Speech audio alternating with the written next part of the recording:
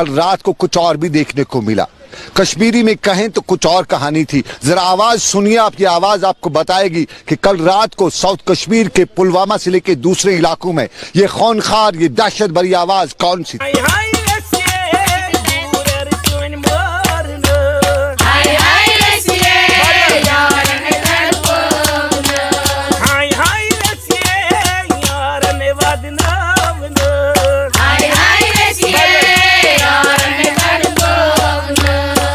ये आवाज़ कौन सी है? पंजाबी में कहें तो ये परली की आवाज़ है, उर्दू में कहें तो ये ओदवला की आवाज़ है, कश्मीरी में कहें तो क्या ये राठस है?